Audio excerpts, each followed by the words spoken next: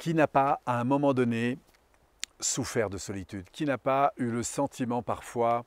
de ne pas être important Qui parfois euh,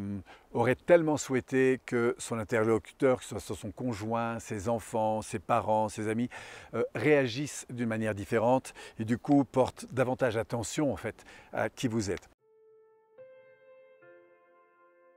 Donc si vous vous sentez euh, parfois euh, sous l'emprise de cette difficulté de se sentir seul, de sentir que la relation n'est pas à la hauteur de ce que vous attendez, eh bien,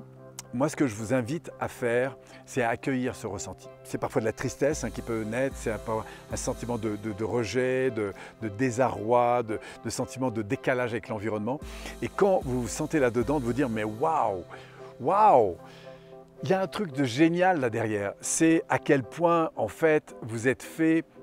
pour être en lien, vous êtes fait pour être en qualité de relation, vous êtes fait pour, euh, pour euh, être connecté aux autres de manière positive. Et donc du coup de réorienter votre focus sur au contraire qu'est-ce que vous pouvez manifester de plus fort à l'égard de vos enfants, à l'égard de votre conjoint, à l'égard de vos collaborateurs, qu'est-ce que vous pouvez manifester de beau, de chouette et de le dire, pas seulement de le penser, mais de l'exprimer davantage. Expérimenter ce truc, c'est un truc de dingue.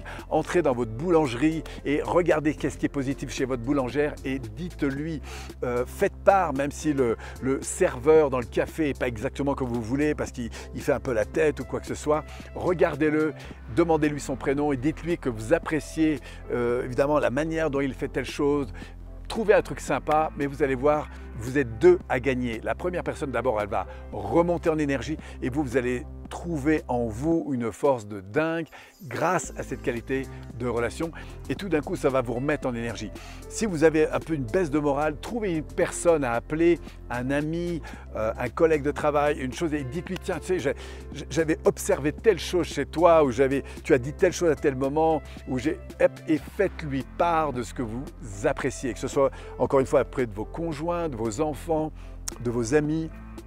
de vos collaborateurs. Expérimentez ce truc, c'est dingue ce que ça peut vous rapporter. Expérimentez ça, laissez-moi évidemment un petit message si vous avez l'occasion, j'adore ces interactions et puis surtout je vous souhaite de continuer à profiter de vous-même, de la vie,